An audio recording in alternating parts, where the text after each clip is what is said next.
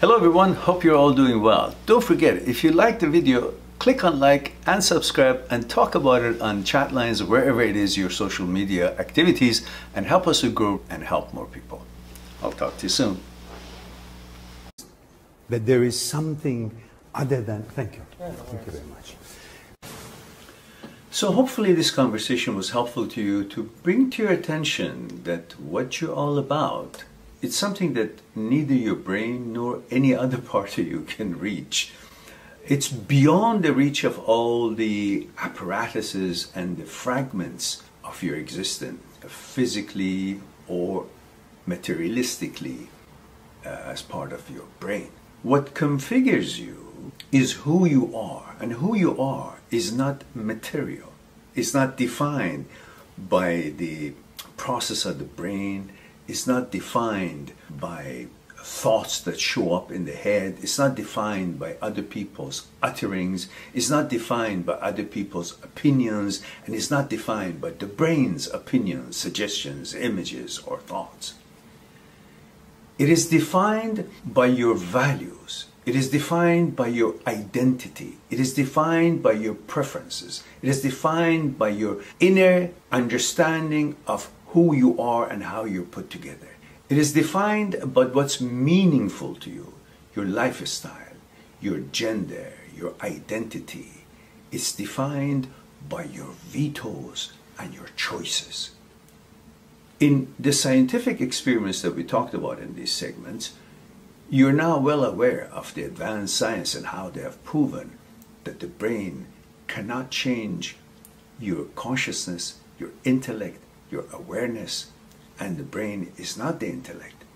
Your identity doesn't have a place in the brain for it to be manipulated or changed or modified by mere suggestion or thought, whether it's coming from people out there for one reason or another, that they want to utter something negative or something different than what you are, based on whatever it is that they're interested or whatever it is that they're intending, nor by any thought that comes from the process of the brain, a material process.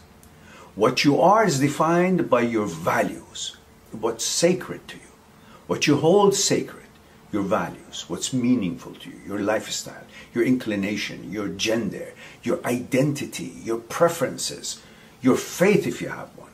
This is what defines you, not a thought of the brain.